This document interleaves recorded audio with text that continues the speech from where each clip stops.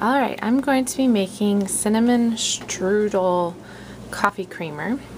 And for that, you'll need um, heavy cream, uh, almond extract, vanilla extract, cinnamon, maple syrup, whole milk, and I think that's it. So you're going to take a cup of heavy cream and a cup of whole milk and you're going to put them together in a saucepan over just like medium heat. And then you're going to add the um, it's four tablespoons of maple syrup. Add that to it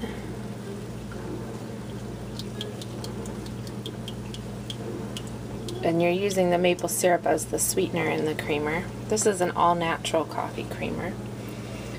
And then we're going to take, it's one and a half teaspoons of cinnamon. I already have it pre-measured here. And you're going to add that to it. And you're going to whisk it together.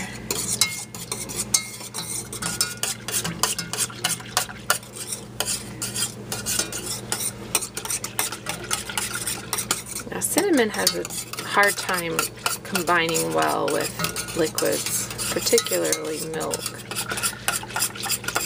But you just do the best you can and as the milk heats up, that will help it combine better.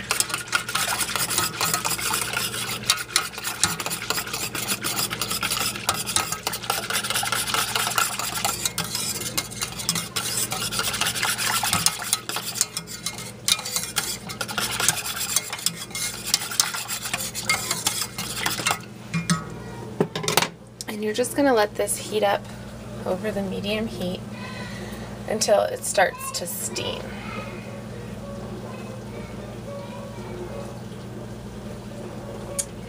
And then once it steam comes to steaming, then you remove it from the heat and add the vanilla extract and the almond extract, which I've already combined into here. It is two teaspoons of vanilla extract and one teaspoon of almond extract. And I'll put this recipe in the link below. She has several different ones. There's one for pumpkin spice, but this is the cinnamon strudel one.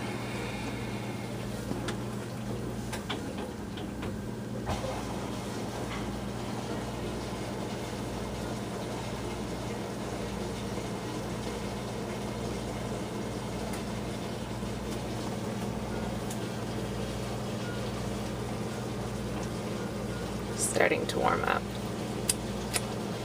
Mmm, that's very cinnamony.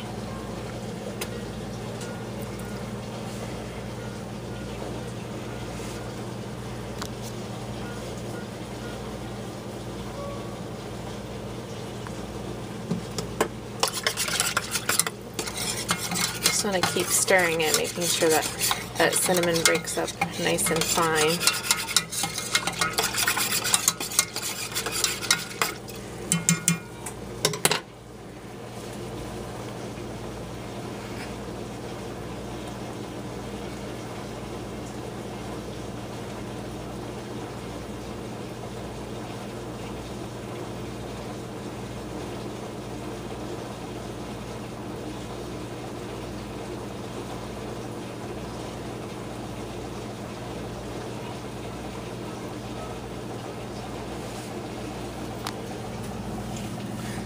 We're just waiting for it to start to steam.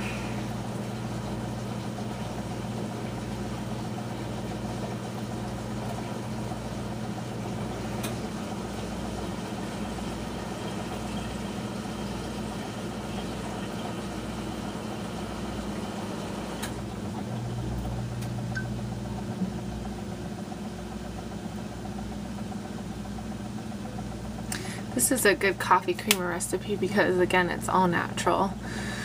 it's sweetened with maple syrup and you know all the ingredients that go into it and something that's if you've ever looked at the back of most coffee creamers out there in the store there's so many ingredients and it's just ridiculous how many ingredients there are in it um, so this is nice that there's a lot less ingredients and you know exactly what's in it and it's all natural ingredients so I like that about it now you want to make sure that the cream and the milk are not close to the expiration date or else this will expire more quickly in your refrigerator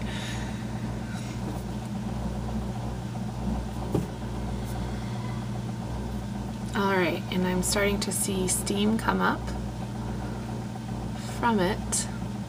I don't think the camera can catch it, but yep, there's starting to be some steam. So we're gonna whisk it one more time.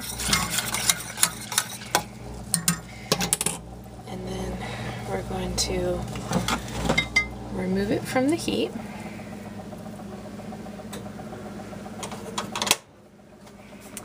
and then add our vanilla extract and almond extract here. And then whisk that together.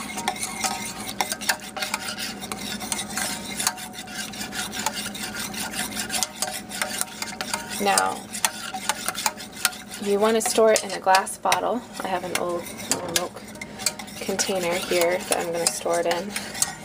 And you're supposed to strain it through a fine mesh sheave, I think just to get the cinnamon pieces out. But I don't really have one of those, or I don't even have a strainer where I'm at right now. So I'm just going to pour it all in and then shake it each time before I use it so the cinnamon gets nice and mixed around. And plus that'll give me extra cinnamon flavor in my coffee when I drink it. So I've already got a funnel set up here. And I'm just going to try and pour this in there.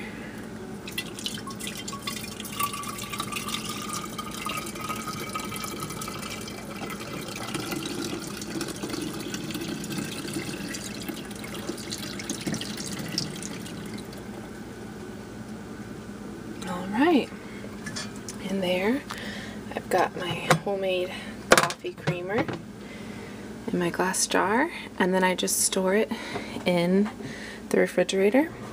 And I'm going to shake mine each time before I use it because the cinnamon is still in mine. But that's how you do the cinnamon strudel one and it's a great recipe. I really like it.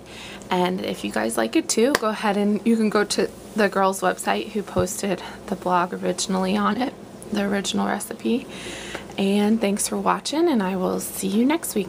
Alright, bye.